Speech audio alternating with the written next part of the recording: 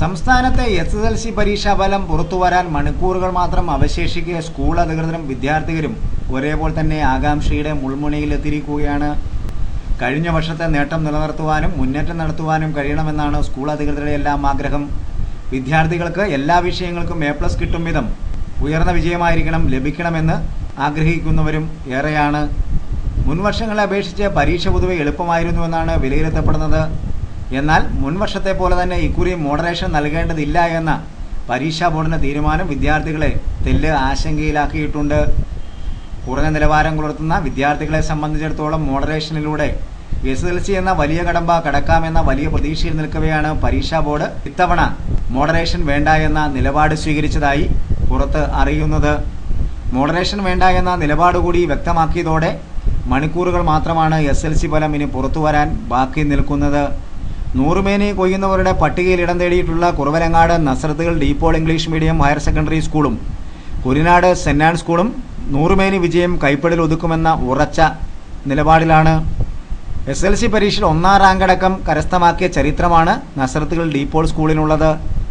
റാങ്കുകൾ S L C പരീക്ഷയിൽ നിന്ന് ഒഴിവാക്കിയതോടെ A പ്ലസുകളുടെ എണ്ണത്തിൽ മുന്നേറിയായിരുന്നു ഡീപോൾ ജില്ലയിലും സംസ്ഥാനത്തും ശ്രദ്ധ നേടിയിരുന്നത്. ഇരുപത്തിമൂന്ന് ഫുൾ എ പ്ലസുകൾ വരെ നേടി. ജില്ലയിൽ ഒന്നാം സ്ഥാനത്തെത്താൻ ഡീപോൾ ഇംഗ്ലീഷ് മീഡിയം സ്കൂളിന് കഴിഞ്ഞു.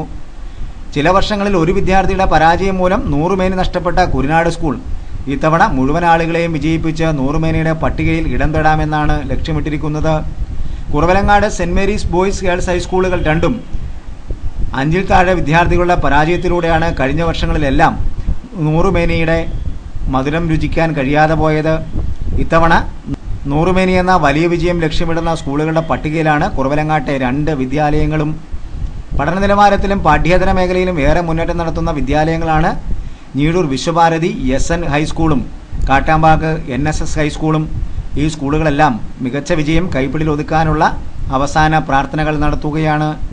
Kaduthuruthy saint Michael's Muttuchira saint Agnes Muttuchira holy ghost Kaduthuruthy government school എന്നിവയും നല്ല വിജയത്തിനു വേണ്ടിയുള്ള അവസാനവട്ട പ്രാർത്ഥനകൾ നടത്തുകയാണ്.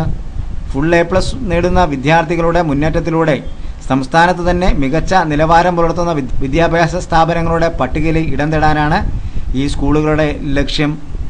എന്താണെങ്കിലും സംസ്ഥാന പരീക്ഷാ ഭവൻ ഇതിനുള്ള പ്രവർത്തനങ്ങളെല്ലാം പൊതുവിദ്യാഭ്യാസ വകുപ്പിന്റെ നേതൃത്വത്തിൽ പൂർത്തീകരിച്ചു കഴിഞ്ഞിട്ടുണ്ട്. ബുധനാഴ്ച രാവിലെ പതിനൊന്നിന് മന്ത്രിയുടെ പത്രസമ്മേളനത്തോടുകൂടി എസ് എൽ സി ഫലം പുറത്തുവരും. എസ് എൽ സി ഫലം സംബന്ധിച്ച പത്രസമ്മേളനം പൂർത്തിയാക്കിയാൽ ഉടൻ തന്നെ സർക്കാരിന്റെയും വിദ്യാഭ്യാസ വകുപ്പിന്റെയും വെബ്സൈറ്റുകളിൽ ഫലം സംബന്ധിച്ച വ്യക്തത ഉണ്ടാവും. ഇതോടെ ഒരു വർഷം നീണ്ട കഠിനാധ്വാനത്തിനുള്ള ഫലം ലഭിക്കാനുള്ള കാത്തിരിപ്പിലാണ് അധ്യാപക സമൂഹം.